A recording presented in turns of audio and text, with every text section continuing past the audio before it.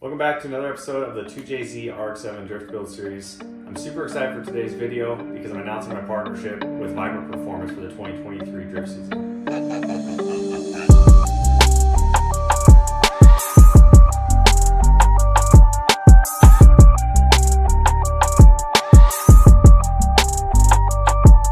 Now, if you don't know Vibrant Performance is, they make tons of automotive fabrication components from intercooler piping to exhaust, fittings and lines. They make tons of parts that I'm gonna be putting on this build. And the reason I chose Vibrant Performance is because they're a top tier company and I wanted a company to work with that could match the level of quality I'm trying to achieve with this 2JZ RX-7 build.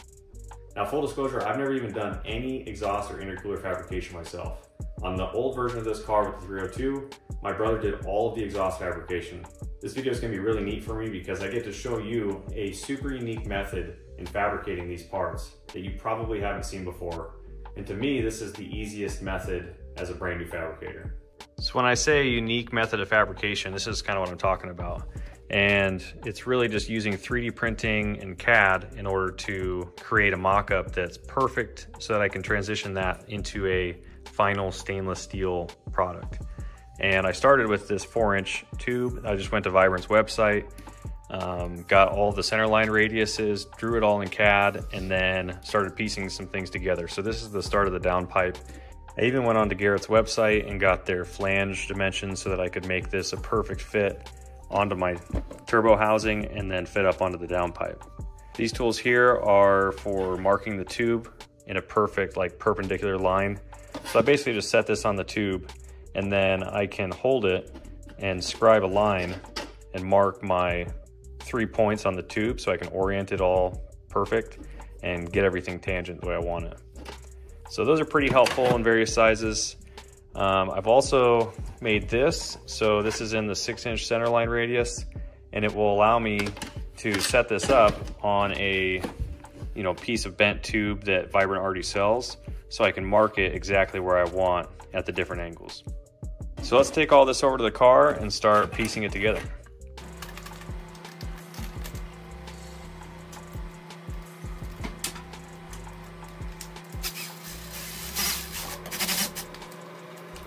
So this is where it sits. I've got a little bit of clearance here with the valve cover and I've got a four inch OD, four inch centerline radius here and the other two are six inch centerline. So I'll show you which pipes come like that from Vibrant, but um, I think this is a pretty good fit, honestly, for four inch, that's quite a bit of room down there. I've also got this Vibrant flex coupling that I printed and I'm gonna go under the car and see if I can fit that down there too. So this is the space I've got to work with and it looks like this is gonna be pretty decent. It's gonna take a little fit up by hand once I actually switch to stainless steel, but plenty of room for that. Now that the 3D printed mock-up is complete, I've got all my dimensions, I've got all my centerline radiuses known, I can basically copy this and transition to stainless steel. So I'm gonna start working on this piece here, which is my three inch to four inch transition onto my Garrett V-band flange. And I designed this heat sink here to make this process a little bit better, make sure that I can clamp my V-band flange up and keep everything flat. And this also allows me to clamp it into my chuck on my rotary positioner.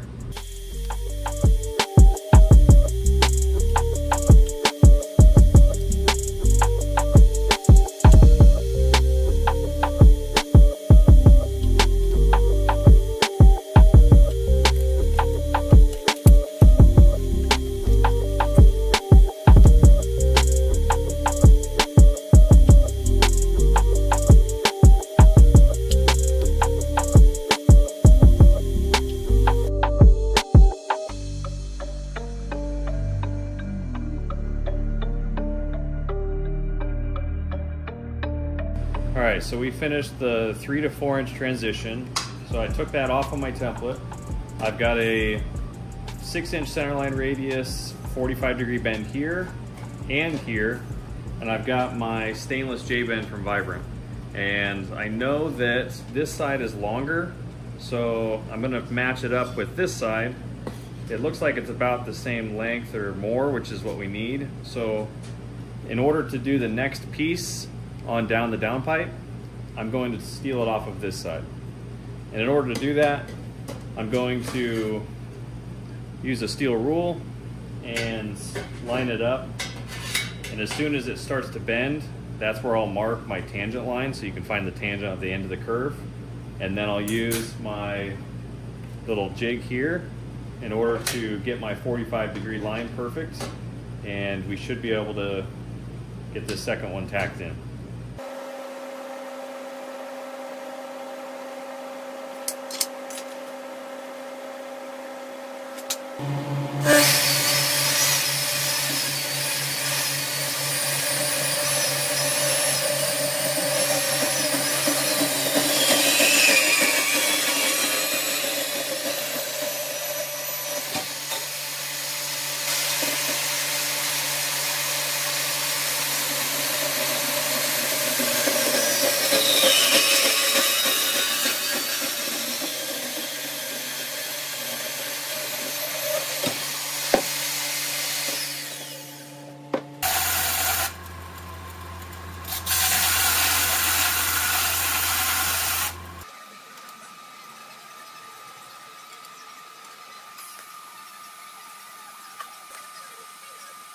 All right, so that first piece is all tacked in and not gonna lie, it's kind of shitty. It's a uh, larger diameter than the Vibrant stuff, so the fitment is not that great. And that three to four is just from some no-name company and it was significantly shorter than the Vibrant transition, which is kind of what I needed with my low clearance against the valve cover. So I took a gamble and uh, it doesn't fit great. I could grind some off the backside to a lower diameter, but trying to keep squareness and flatness with everything. I'm struggling as it is, so I'm just gonna leave it and see how it welds. Um, off camera, I ended up cutting two more pieces of that 3D printed prototype and I marked it with my centerline marking 3D printed jigs that I was showing earlier. And this is just exactly what that 3D printed piece is. So it ended up fitting up pretty good. So right now I'm just gonna tack these up and see how everything else fits.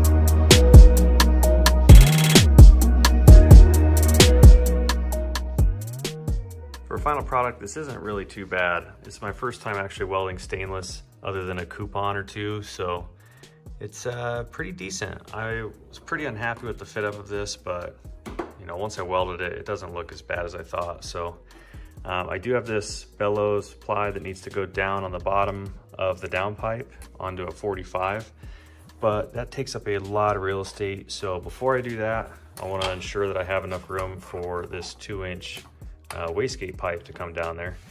Uh, instead of going up into the hood and instead of going into the downpipe, I'm just gonna run my own little individual screamer pipe that goes below the frame so it's not shooting flames on anything important. But I have such little room that I think I might actually just weld this to the downpipe on the side and then incorporate another bellow up here so everything can move and nothing will crack.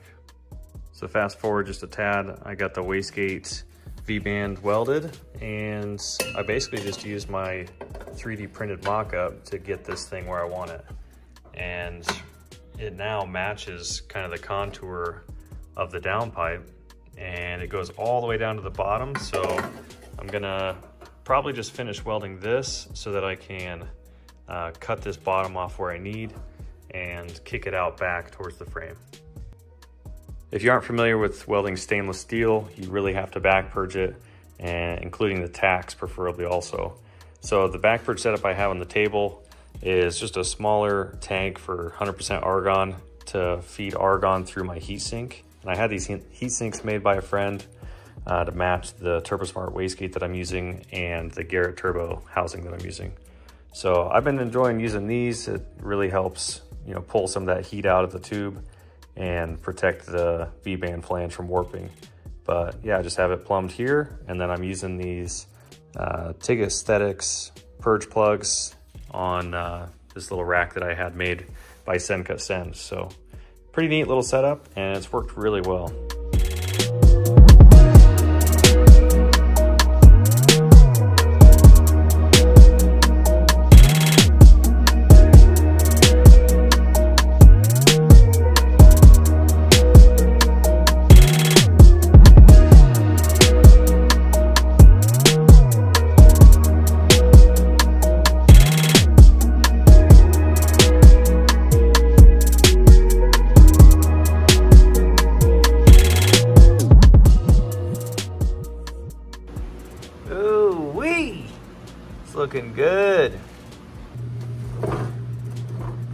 Look at what I'm working with. I've got this piece that I'm working on here and I'm gonna try and follow the body line here with it. And so up there is probably where I'll end up cutting my extra tube, tube length off. But before I do that, I think uh, I'm gonna work on this 45 here with a little extra length on it and then put my bellow on it. And right now, a little bit hard to see on camera, but that's too long. This is too long. So I had this all lined up and kind of determined how much higher I want it to be, which is, you know, almost a two inches. I'm probably gonna err on the side of caution and just go like one and three quarters just to be safe. And then that should set me up to keep my bellow just a bit higher and tucked up here, but should still leave, leave me enough room to uh, run this wastegate pipe next to it.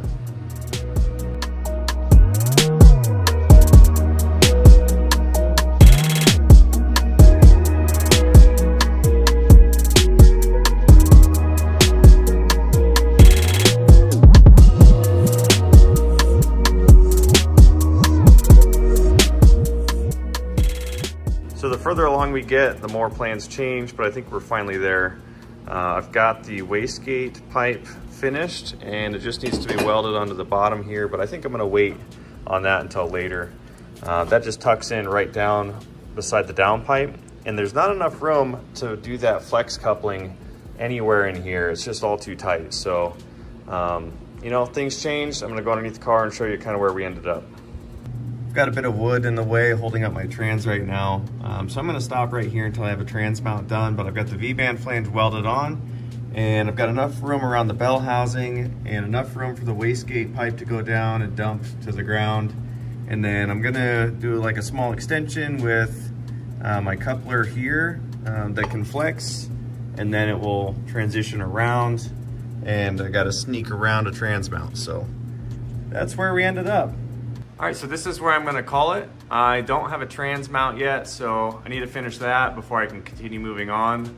But overall, I'm really happy with the result. This is my very first stainless tube project and exhaust, so this is all new to me, but with some handy 3D printed tools and some good material, I got a pretty good result for my very first time, so I'm really happy with it.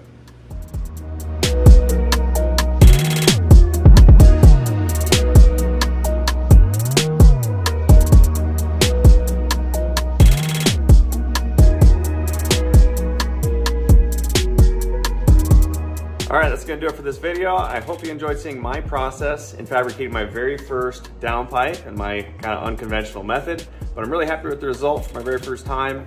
Uh, stick around for the next video where we're gonna start diving into all of the intercooler piping and getting everything routed to our Vibrant intercooler. If you enjoyed this video, like this type of content, please like the video and subscribe, and I hope to see you in the next one.